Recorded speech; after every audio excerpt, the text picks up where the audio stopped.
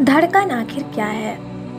दरअसल हम जिसे धक धक कहते हैं, उसमें पहली आवाज़ तो दोनों निलय से खून के तेज़ी से बाहर निकलने की शुरुआत में उनके दोनों ऊपरी बॉल बंद होने की होती है और इसके तुरंत बाद दूसरी धक दोनों निलय से खून बाहर निकल जाने के बाद नीचे वाले दोनों बॉल बंद होने की है। इन दोनों धक धक के बीच समय अंतराल कम होने की वजह से ये दोनों आवाज़ें एक साथ ही आती महसूस होती है। इनमें से पहली आवाज़ थोड़ी हल्की व दूसरी तीखी होती है।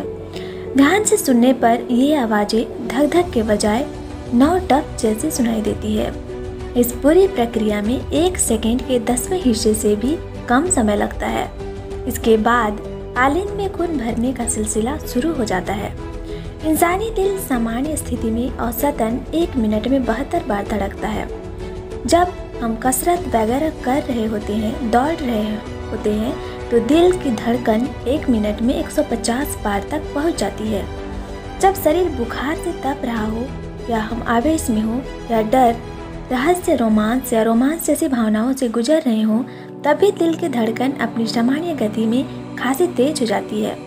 यह सुनकर आपको लग रहा होगा कि इंसानी दिल कितनी तेज़ी से धड़कता है, लेकिन अन्य जीवों से तुलना पर दिखेगा कि हमारी क्या औकात है।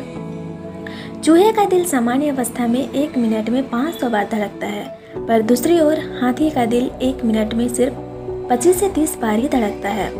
सवाल यह है कि वह कौन सी प्रक्रिया है जो दिल को लगातार इतनी दक्षता के साथ चलाती है? यहाँ इस विषय में बहुत गहराई में जा पाना तो संभव नहीं है, लेकिन इतना तो स्पष्ट है कि दिल के मांसपेशियों को विद्युत आवेगों के ज़रिए सिकुड़ने के संदेश लगातार क्रमबद्ध तरीके से मिलते रहते हैं। यह विद्युत संवेग कहीं बाहर से नहीं आते, बल्कि दिल के अंदर ही पैदा होते हैं। विद्युतीय तरंगे उत्पन्न करना दिल का अपना विशेष गुण है। ये विद्युतीय संवेग विशेष तरह की कोशिकाओं के छोटे छोटे गुच्छों की एक गठान, जिसे साइनो एड्रिनल नोड या एस मोड कहते हैं। ये उत्पन्न होते हैं। नाम से ही ज़ाहिर हो जाता है कि एस ए नोड दाहिने एंट्रियम यानी आलिंद में स्थित होता है। ये कोशिकाएँ खास तरह के रेशेदार तंतुओं के ज़रिए तीव्रतर दर से आवेग को आलिंद के सब हिस्सों की ओर प्रसारित करती है। इसलिए अक्सर इन्हें दिल का कुदरती पेसमेकर कहा जाता है। जैसे ही एक संवेग इस नोट पर उत्पन्न होता है, वह तुरंत ही दिल के दोनों आलिंदों में एक लयबद्ध तरीके से संकुचन उत्पन्न करता है। इस संकुचन की वजह से आलिंद में इकट्ठा खून, जहाँ हृदय की बड़ी काट दिखाई देती है, हृदय एक खोखली मांसपेशी है, जिसमें चार प्रकोष्ठ होते हैं। ऊपरी दो प्रकोष्ठों को आलिंद कहते हैं। आलिंदों की दीवार पतली होती है, अतः ये आसानी से खून से भर जाते हैं, किंतु ये उच्च दबाव पर पंपिंग नहीं कर सकते। निचले दो प्रकोष्ठ निलय कहलाते हैं। इनकी दीवार मोटी होती है और इसलिए इन प्रकोष्ठों में खून भरने के लिए दबाव लगाना पड़ता है। किंतु ये खून को काफ़ी दबाव में आगे बढ़ा सकते हैं। दाएँ आलिंद में पूरे शरीर में खून आता है, जबकि बाएँ आलिंद में मात्र फेफड़ों से। ये दोनों आलिंद एक साथ संकुचित होते हैं और इनका मूल निलयों में प्रवेश करता है। दायां निलय खून को फेफड़ों में भेजता है तथा बायां निलय पूरे शरीर में। निलय या आलिंद में संकुचन के लिए दिल का अपना एक अलग ही तंत्र है, जिसे कुदरती पेसमेकर भी कहा जाता है। बीच में स्थित बॉल्व के माध्यम से निलय में जाने लगता है, लेकिन अभी तक निलयों में यह विद्युत संवेग नहीं पहुँच पाए हैं। निलयों में संवेग पहुँचाने के लिए एक दूसरी अवस्था भी होती है, एक खास किस्म की कोशिकाओं का समूह, जिसे एवी नोड या एंट्रियो वेंट्रिकुलर नोड कहा जाता है। इस नाम से ही स्पष्ट होता है कि ये कोशिकाएँ आलिंद व इस को दिल की खाड़ी काट के ज़रिए दिखाया गया है।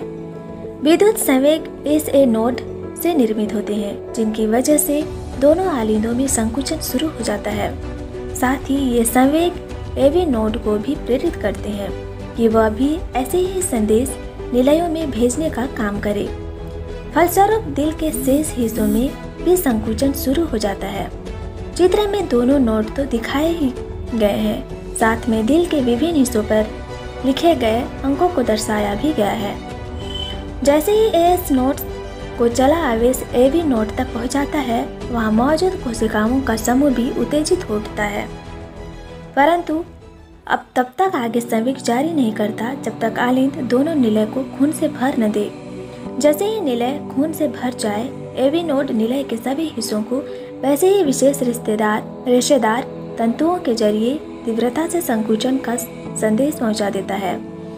तब तक कालीन बिना संकुचन वाली पूर्वी स्थिति में पहुँचना शुरू कर देते हैं, यानी उनमें खून भरने लगता है। इस तरह से हृदय के अंदर की एक आवेग उत्पन्न होकर पूरे हृदय को सक्रिय करता है और फिर खत्म हो जाता है। जब आलिंद खून से पूरी तरह भर जाए तो पंपिंग का एक चक्र पूरा हो जाता है। इसके फ़ौरन बाद फिर से यह चक्र शुरू हो जाता है। ऐसे नोट से संकुचन के लिए संवेग उत्पन्न होता है। आलिंद को संकुचन के संकेत पहुंचाते हैं और यह संकेत एवी नोट तक पहुँचता है। इस बीच आलिंद से खून निलय में पहुँच जाता है। प्रेरित एवी नोट से उत्पन्न संदेश निलय को संकुचित करते हैं, जिसमें खून धमनियों व फेफड़ों में धक्का दिया जाता है। साथ ही आलिंद में खून भरने लगता है। इस प्रकार दूसरा चक्र पूरा हो जाता है। इस तरह क्रमबद्ध तरीके से आलिंदों और निलयों का सिकुड़ना, फैलना चलता रहता है। हर चक्र के खत्म होने और दूसरे चक्र के शुरू होने के बीच के समय में ही दिल थोड़ा सा आराम भी फरमा लेता है। अभी तक तो यह बताया गया है जिसमें एक मुद्दा छूटा जा रहा है। दिल तो अपनी तयशुदा लय में धड़क सकता है, लेकिन उसकी लय को शरीर की ज़रूरत के हिसाब से बदलने के लिए संकेत कहाँ से मिलते हैं? केंद्रीय तंत्रिका तंत्र में शामिल मिम्फेटिक तंत्रिकाएँ न केवल धड़कनों की गति को बढ़ाने के संकेत देती है, बल्कि रक्त दबाव को बढ़ाने के संकेत भी दिल तक पहुँचा सकती है।